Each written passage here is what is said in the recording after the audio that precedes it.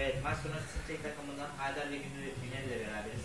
Bugün güzel bir galibiyet aldınız. Maç hakkındaki düşüncelerinizi alalım. Maç hakkında maça çok iyi başladık.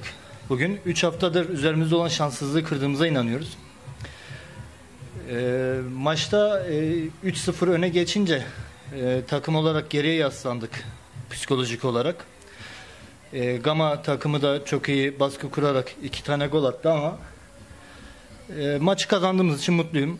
Arkadaşlarıma da teşekkür ediyorum. Birden bu kadar. Maça iyi başladık. Kazanan takım biz olduk bu hafta. Pazar günü buraya gelip bizi destekleyen herkese, teknik direktörümüze, e, kaptanımıza, takım arkadaşlarımıza ve ailelerine teşekkür ediyoruz.